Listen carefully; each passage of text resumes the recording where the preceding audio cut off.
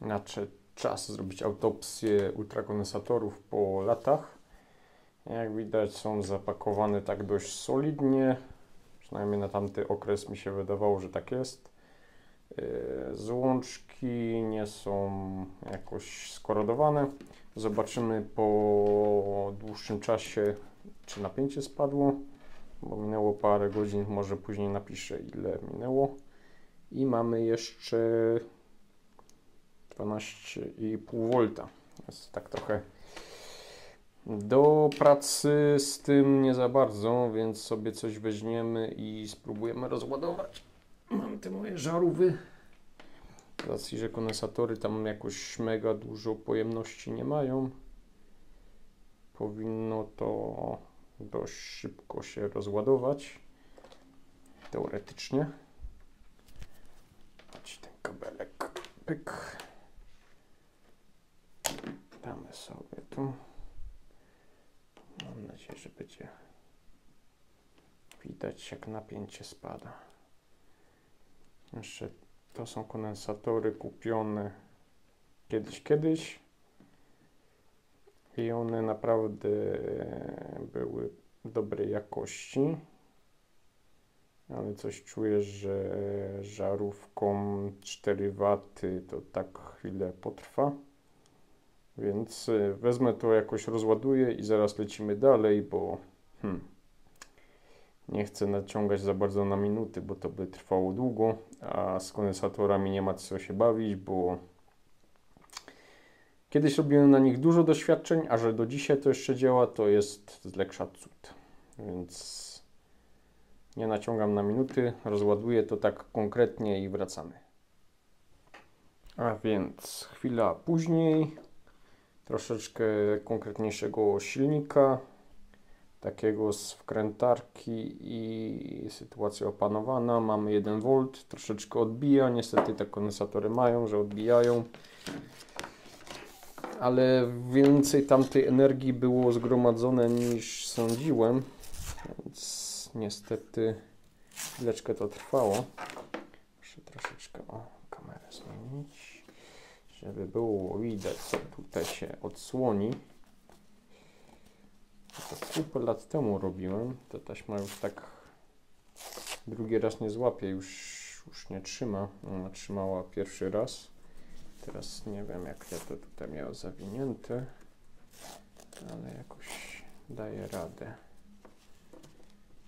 Tutaj jeszcze trzyma jakoś w miarę. I co?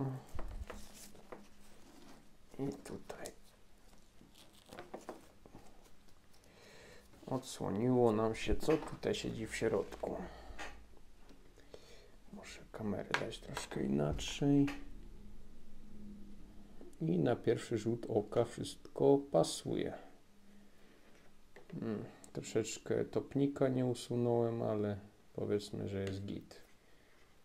Nie wiem, czy się do opierać do samych kondensatorów. Spróbujemy zmierzyć napięcie na poszczególnych kondensatorach, czy jest takie same. Trzeba tu też spróbować serwisować 414 416 300 musiał to dać. 338 300 440 i hmm, tu jest jakoś dużo. 700 bo nie ma kropki nie. 771 Dobra. Wezmę bez kamery, zobaczę i zrobię zdjęcie, czy coś jest uwalone, bo coś mi się wydaje, że albo na plusie, albo na minusie coś umarło, bo nie wyważało. Ale to zaraz zobaczymy.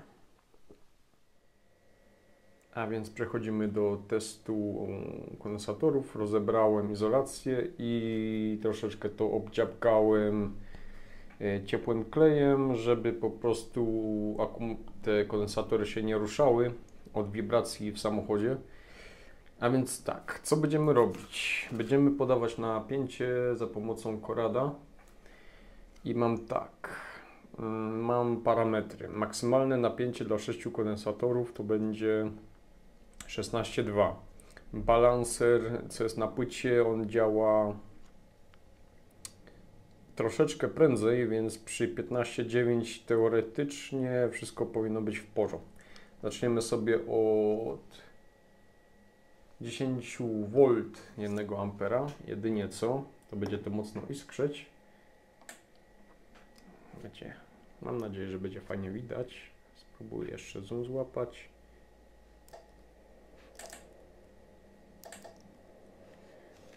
Jak słychać, kondensatory e, ładują się. Tam jeszcze kilka volt zostało, mimo że rozładowywałem wszystko tym silnikiem z wkrętarki. I co, na razie leci. Osiągniemy te 4 V, 5. Spróbujemy mu dać troszeczkę więcej soczku.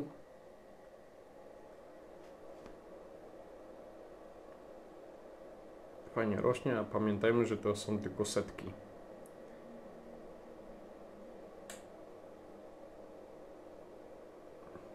chwilę to będzie trwało. Ale to jest te pierwsze wstępne e, napięcie, które chcemy osiągnąć na tym, bo to jest no tak mniej więcej w 75% będzie wszystko naładowane i jeszcze tutaj nic nie powinno zacząć działać. O. I się już unormowuje napięcie.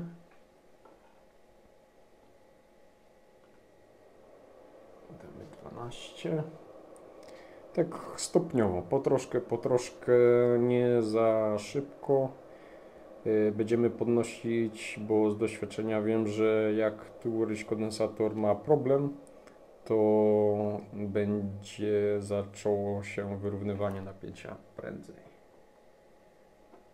Lecimy za 7 V wyżej. Już jesteśmy coraz bliżej tej 15 więc za chwilę prawdopodobnie coś powinno się pokazywać, ale te kondensatory były bardzo dobre. To nie jest to, co ten Chińczyk teraz sprzedaje. Więc jak to się mówi, one dają radę. Jak na razie. Damy sobie 15 V.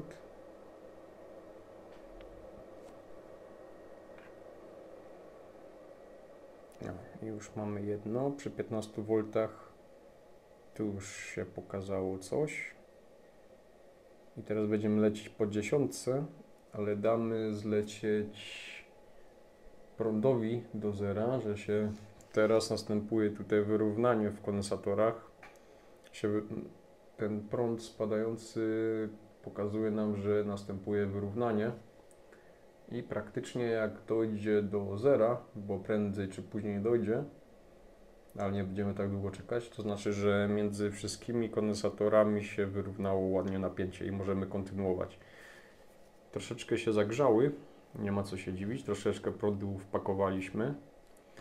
I trzeba pamiętać o tym, że to jest niebezpieczne. Jakby tutaj jakaś zwory zrobił, by było ostro. Dlatego żabencje są jak najdalej od siebie, bo wyglądają mało, jak to się mówi, groźnie, ale to są wariaty, te konsatory. Dobra, damy jeszcze troszeczkę w górę. Teraz będziemy lecieć dziesiątkami.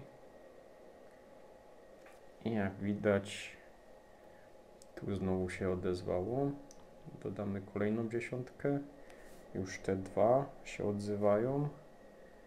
Chyba wyłączę latarkę i światło, żeby było lepiej widać. Ok, chwileczka minęła, prąd spadnął sobie do śmiesznych wartości. Kondensatory są minimalnie do wyczucia i się zaprezentuję mój pierwszy miernik. Nie wiem, czy ktoś może po numerze seryjnym będzie umiał powiedzieć, kiedy to był wyprodukowany, ale może 2010.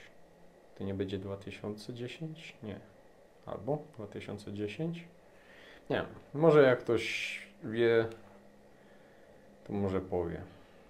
Zmęczony czasem, ale jeszcze działa.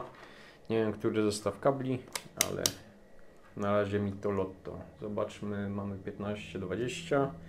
20 V zakres na mierniku. Mam nadzieję, że będzie widać. O, w ten sposób. I sobie będziemy mierzyć, co tu mamy. 2,65 2,65 2,64 2,65 2,65 i 1 1,87 mam nadzieję, że było widać. Dam go bardziej tak na przyszłość. Czyli 2,65 tutaj zaczyna nam się pokazywać tak jak mówiłem bo się zbliżamy i teraz będziemy chciało cisnąć do tego ostatniego ogniwa. Damy zaś dyszkę więcej. I się wszystkie pokazały i teraz do tego ostatniego ogniwa powinno cisnąć o to mi właśnie chodziło. Mam nadzieję, że fajnie widać. I jak widzicie jest duży prąd bo to wszystko sprawdzę paluszkiem. Czy się grzeje mocno czy nie dać czasem moich radiatorków. Prąd się uspokoił, czyli wy, wyrównało napięcia. Damy znowu dyszkę więcej. To samo ten kondensator jeszcze jest nie na żarty 1,99 a te mają no pokaż się. 2,65 więc tak jak mówiłem troszeczkę jeszcze pamiętam dawno to było, ale jeszcze coś pamiętam. Dajemy zaś dyszkę więcej i się zbliżamy do tego 19,5 małymi kroczkami bo później między tym napięciem a tym wyważarka praktycznie będzie działać non stop i będzie robiła taką jakby mikrozwory na całej instalacji. Więc na razie dalej wyważa się. Mamy jeszcze 305 mA. Spada i widać, że niektóre ogniwa troszkę dłużej potrzebują. No i spadło. I zaś damy mu jeden więcej. Może uda się zaobserwować, jak ten prąd wyważania działa na to, co się dzieje tutaj. Jak tutaj sobie mierzę ten ostatni kondensator i widać, że podbija po lekku po tej dziesiątce i tak dalej. W aucie napięcia 15-6 raczej nie ma, może że w piku, ale ja sobie tutaj mierzę i się sprawdzam. No troszkę jest ciepłe, ale nie wiem czy jest ciepłe od płyty, czy jest ciepłe od e, samej reakcji chemicznej w zachodzącej w kondensatorach. No ale to się dowiemy za chwilę, bo podciągniemy do 15,9, a później podciągniemy do 16, e, 16,2 i zostawimy na jakiś czas, bo ja tak takim sposobem sobie zawsze sprawdzam yy, kondensatory i płytę, bo dla mnie wyznacznikiem będzie to, że wszystkie kondensatory uzyskają te same napięcie i na płycie yy, będą oświecić wszystkie diody z wyważania. To jest dla mnie znak, że wszystko z płytą jest ok. No i tak zostawiam na kilka minut, żeby to sobie podziałało żeby określić, czy nie ma jakiegoś defektu. Ok, mierzymy. 2,38 i pomału rośnie. Dobra. Dajmy temu chwilkę. Chwileczka minęła, poczekałam aż spadło do setki. Nie będę Was naciągał na minuty, patrząc jak ja sobie tutaj kręcę napięcie do góry, ale dość ciekawe jak to się pierwszy raz robiło, to to było takie dość fajne przeżycie. Patrząc co się pokazuje na drugim końcu kondensatora. No się zbliżamy. Można jeszcze liczyć tak napięcie, ale to mnie nie urządza, nie jestem matematykiem. Mnie interesuje, że tutaj się utrzymuje te 2,65 i że tutaj mamy te 2,65 pomału, co tutaj jest na tym ostatnim. Przyspieszymy. W sumie jesteśmy na 15,9 i tu powinniśmy mieć już wszędzie 2,65 i zaraz zobaczymy, czy będzie. Ok. 2,65. Spróbuję kamerę trochę dać inaczej, żebyście widzieli, że mierzę. Co mierzę? Też muszę uważać, żeby nie zrobić zwory, bo to wybuchnie. 2,65 2,65 2,65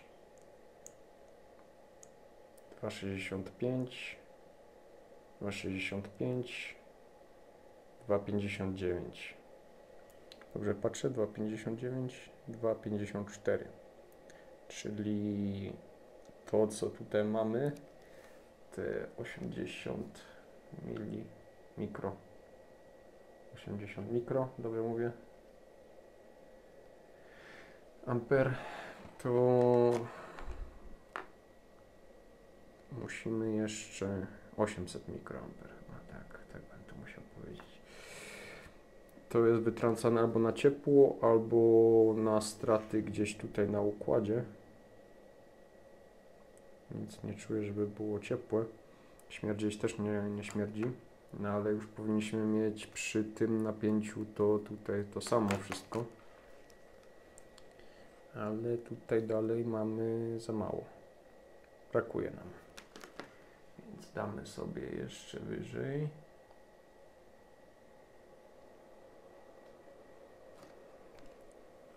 I czy nam się uda tutaj wcisnąć te dwa 65 mamy już 16 V i mamy 2,60 mierzę sobie tu. Jak widać diody się świecą. Więc na razie prąd spada. Czyli idziemy w dobrą stronę. O, tu już się nawet wygasiło. Znaczy, że jest raczej git. 2,64 Za niedługo też tutaj coś powinno się pokazać. No powinno, bo jesteśmy na 16 V, a 16,2 jest nasze maksimum. Więc teraz przejdziemy sobie tu i będziemy minimalnie dojeżdżać i się zaświeciła ostatnia dioda, co mnie interesowała i teraz y, powinno być takie coś, że prąd y, powinien bardzo delikatnie spadać. Bardzo delikatnie. A większość tego prądu, co tej mocy, co tutaj mamy tą różnicę, to powinno iść w ciepło. Mamy 2,64 2,66 2,65 2,50 2,66 2,56 i 2,64 Dobrze, nie będziemy męczyć, bo tutaj teraz pracują cały czas te rezystory, które puszczają to dalej i już one są ciężko do dotknięcia. I teraz spadamy o kilka dosłownie. Tylko spadamy jedną stronę kręcić. Spadamy do szesnastki. I ile nam się tutaj zrobiło na tym. 2,64 2,66 2,65 2,65 2,65 i 2,65 ten pierwszy chyba od minusa najwięcej musiał wycierpieć. I mamy 54 540 mikroamper 0,5 mili. Nie wiem jak to powiedzieć jak to odmieniowywać te końcówków. Bo to, to co tutaj jeszcze teraz leci to jest, są straty termiczne i wyrównywanie się w kondensatorach jakbym kilka razy im cykle zrobił to one by się ułożyły. By było to działa, działałoby to lepiej. Ale 16 V to jesteśmy e, między tym, tą górą a tym dołem. Nie będę to dalej szarżował, żeby nie uszkodzić sobie płyty, bo kupę lat wytrzymała w aucie. Damy jeszcze raz tylko te 5 pięćdziesiątek więcej. 500. Pardon, 500 sedamy. Poczekamy jeszcze chwilę. Wszystko się grzeje. Muszę palec zmieniać.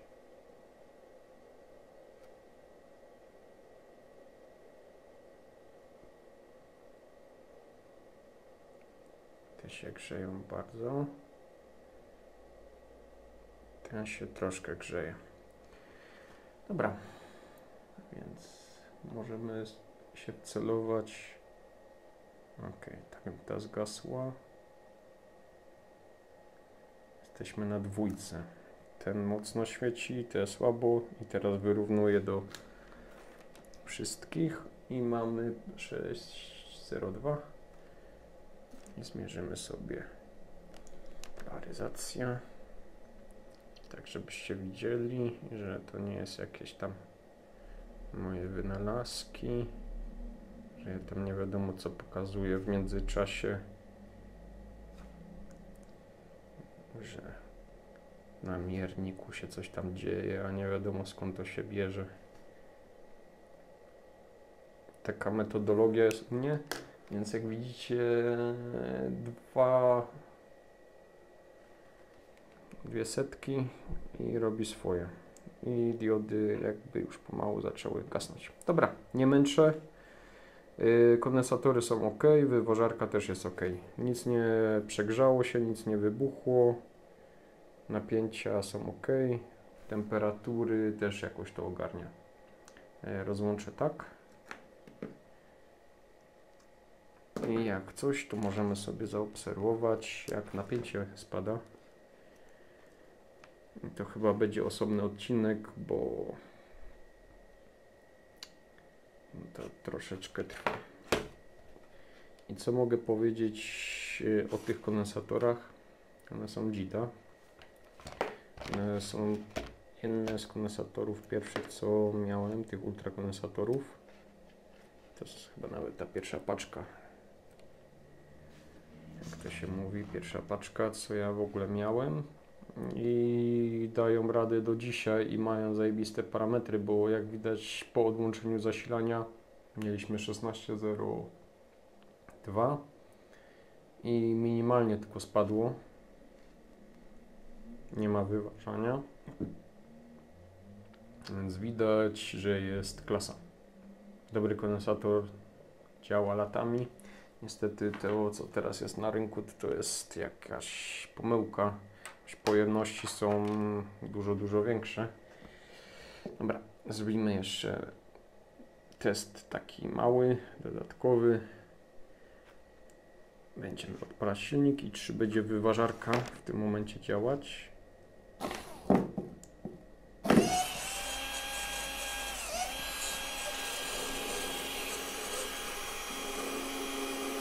Jak, aha, tutaj to.